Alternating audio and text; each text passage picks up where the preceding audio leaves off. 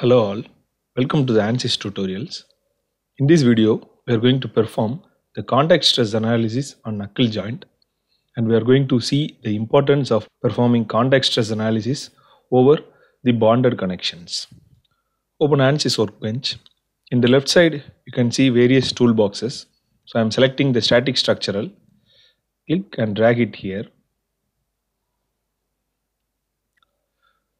So right click on the geometry and go to import geometry and choose browse. So I have kept the knuckle joint assembly as IGS file. So you can import it. Next right click on the model, choose edit.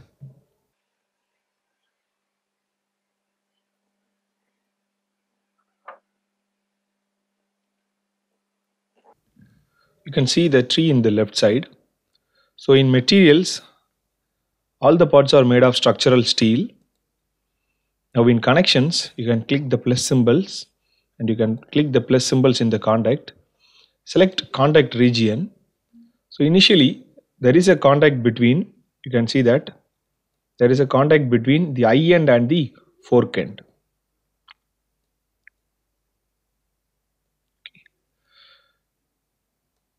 So go to type of contact and change it to frictional contact and as both the parts are made of uh, steel I am keeping a frictional coefficient of 0.15 next contact region 2 this is the contact between the eye rod and the pin. You can visualize that. The inside part of the eye rod is in contact with the pin so go to type of contact and change it to frictional contact and I am keeping the same frictional coefficient 0.15. The third contact is the contact between the fork and the pin. So the inside of the fork is in contact with the pin and the top surface of the fork is also in contact with the bottom surface of the pin. I am changing the type of contact to frictional and I am keeping the same frictional coefficient as 0.15. Next, I am going to create the mesh. Right click on the mesh and choose generate mesh. So first we'll perform the contact stress analysis, then we'll compare it with the bonded joints. Now we have created the mesh. You can see that the entire part is discretized into small elements. To apply the boundary condition, right click on the static structural, click insert, choose fixed support.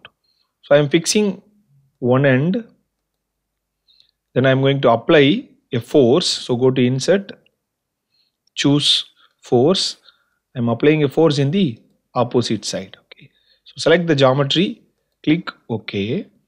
Now we have two options. So defined by components and in the y direction I am applying 10 kilonewton of force. Sorry, in the x direction I am going to apply 10 kilonewton of force. In the y direction I am keeping it as 0. So you can verify the direction of your applied load. Now in the solution, right click on the solution, choose insert. So I am inserting equivalent stress and I am also inserting contact tool. So go to insert contact tool and contact tool. In contact tool, right click on that and you can insert frictional stress. Then we can also insert gap. Now right click on the solution click solve.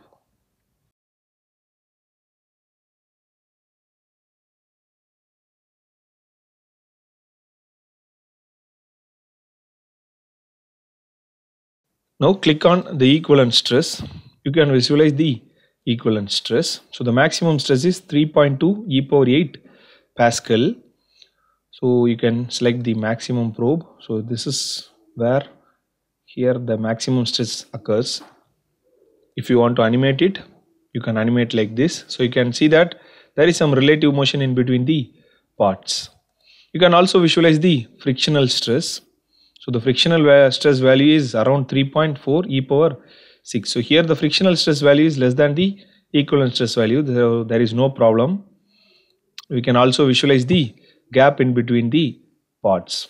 So you can animate the frictional stress. So in case if you want to save this, you can go to images, you can choose image to file and you can save this as knuckle contact stress. So similarly you can save the results. So in case if the joint is a bonded one, it means if we haven't specified the frictional joint, so I am changing it into bonded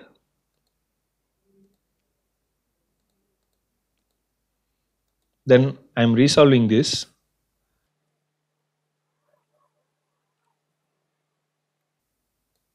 So in case if it is bonded, you can see that the stress value is low. It is 2.2 e power 7. So in the contact stress condition, it is around 3 e power 8.